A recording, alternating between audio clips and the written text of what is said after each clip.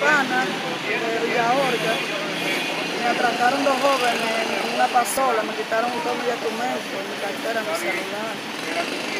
Y ahí yo me quedé muy pánica y se. ¿Tenía pistola ahí?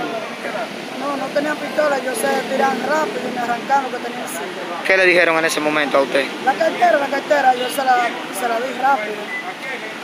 Eso me sucedió a las 7 y 10 de la mañana. Ok. ¿Y el patrullaje policial por eso? No, por ahí no hay nadie, porque después que está la cuarentena está todo cerrado, no hay nada abierto y es muy sólido esa calle. La entrada de la campaña, ya ¿Usted puso la denuncia? Me vine a ponerla hoy. ¿Qué llamado usted a las autoridades?